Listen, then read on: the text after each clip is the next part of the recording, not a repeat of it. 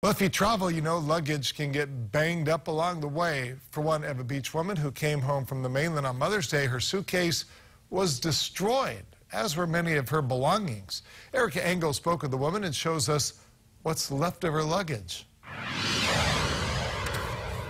The damage to Saxton's belongings is dramatic. Her suitcase never appeared at baggage claim because it had been destroyed. Before Melody Saxton knew about it, she called Hawaiian Airlines while her friend drove her home so she could get her car and return to the airport with her daughter.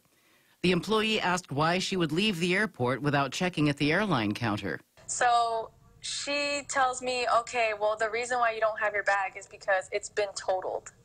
And I saw the pictures, so we're going to have to do the claim, and we don't usually do it over the phone, so you shouldn't have left. She kept going on about how I shouldn't have left the airport.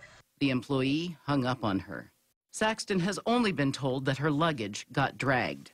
Some five hours later, the replacement suitcase and her belongings were presented to her. When I got it, the Hawaiian Airlines individuals told me to um, go through everything when I got it and see what's missing so that they can cut me a check. And I was like, well, I was like really anxious. I was emotional. I hadn't seen my stuff yet. It, it was in this different bag. And so that's when I went on Facebook Live. The U.S. Department of Transportation says airlines are liable for damage to luggage and contents under their control.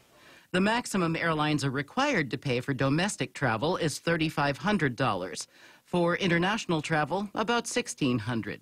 The biggest thing I wanted to get out of this, like, obviously, is the reimbursement for my items.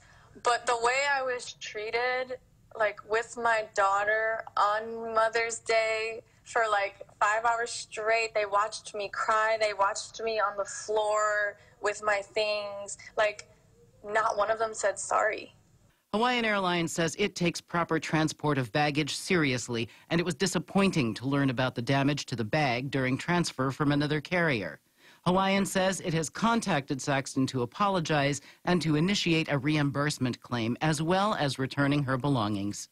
Erika Engle, KHON 2 News.